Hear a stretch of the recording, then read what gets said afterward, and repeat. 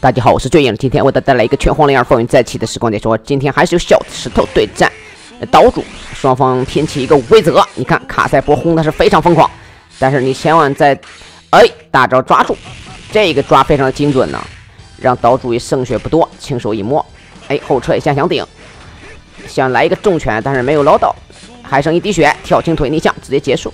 双方又进入到了第二局。第二局来看岛主第二个角色，这个卢卡也是非常的猛啊！出招，下面来看岛主的猴子，哎，轻手，对手不上当。来看卢卡还是被飞，猴子在寻找逆胜的机会。来看卢卡轻手带风封到板边，如果中了的话，直接就是 B C 了。我感觉这卢卡尔下不两点轻手，哎，轻手带连后撤，空中小台风一下，猴子继续向前狂刺，但是差点又被抓到啊！哎呀，卢卡尔也给他一个超必杀，猴子暴击没有连上。哎，跳球腿逆向，跳腿进攻，后撤一下。猴子现在继续一个逆向过顶，跳轻腿，好的。现在卢卡地波，地波抓必杀，啊，再次把这个岛主给拿下。让我们进入到下一局。下一局来看岛主第三个角色了，看岛主要不要爆发一下。我们来看他的金，哎，一脚踢到对手闪身，必杀技狂踢，卢卡尔跑跑过去跳轻腿，继续寻找机会。哎，跳轻腿逆向，我们看后撤一把，大招打空。金甲帆完全找不到机会吗？现在卢卡又找一个逆向，哇塞，是压着金甲方在打呀！金甲方想冲也冲不出来，呃，轻手 B C 直接接上一个超必杀技，穿三对手啊！啊，这一次有点太疯狂了吧！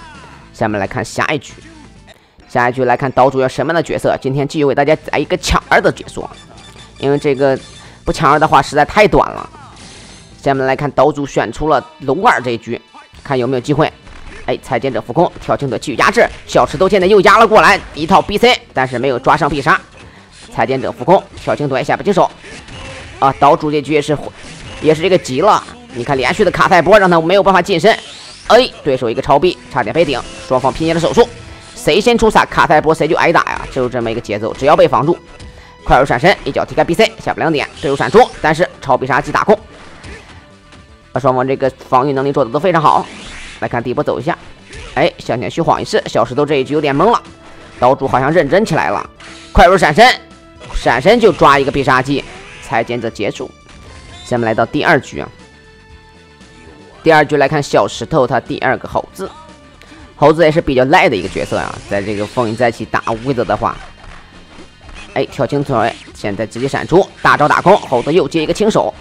卢卡尔想抓也抓不住，被猴子直接怼回了板边，超必杀技直接就是狂怼，跳轻腿，暴击，暴击出下不两点，哎，B C 过后，但是还是中了一个裁剪者，裁剪者超必杀打空，猴子超必杀也没有连上啊，真是有点可惜，都有所失误。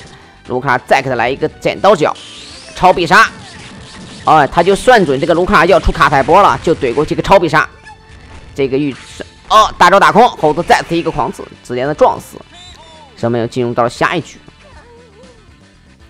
下一局我们来看龙二了，看龙二这次有没有好的操作，蛇鞭甩起，猴子小跳，哎，轻腿 B C 直接出了一个隐藏，这样龙二防不胜防啊！隐藏其实就该这么出，这样的话对手没有做好出招的准备，出招直接进行隐藏。但是这一次龙二已经算准他会这样做了，高手一般都不会直接出隐藏的。哎，重腿可以闪身，大招打空，猴子再别一下，跳成腿逆向，后后过来 B C，猴子重爪一挠，哎，起飞之后 BC C。B C 过后猴子猴子一个超必杀连了过去，这个猴子套路太深呀，让人太佩服了。下面来到第四局，看岛主最后一个角色了，来看他的金。哎，直接起飞，金甲翻一脚带踢没有压住，猴子又上隐藏。哎呀，金甲帆的超必杀也没有连住，这一次运气不好啊。来看猴子还会不会再出一个隐藏，给他赌一把运气。飞檐斩旋风腿没有血了，猴子已经。哎，没有血了，头肌被拆。如果再金甲方再疯狂压制，又来一个隐藏，金甲方飞燕斩，将他直接拿下。这次运气就没有那么好了。下面来到第五局，哎，第五局来看龙二现身，后后过来进攻。哎，一脚在地没有压住，龙二继续一个跳地狂压，现在开始了连续插刀子吗？这一招是更赖啊，这个连续插刀子。下蹲在 B C，大招打空。哎，一把带抓，金甲帆想来一个后路也没有偷到。来看龙二继续向前突进，一个刀子插了过去，一把抓住摔过去，呃，起身压了一个起身结束。这个龙二也太赖了吧，真的是赖神呐！但是掉血量并不是很多。这这一招，现在剑王还有一线生机。哎，大招起飞，如果被踢到还是可以赢的，但是没有踢到。